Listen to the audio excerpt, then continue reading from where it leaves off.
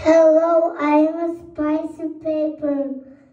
I'm hel- I am a spicy paper from my brother on a dare. The paper caught my head on fire. It burned on my head. My mouth erupted lava, and my tongue began to melt. My ears were shooting jet steam.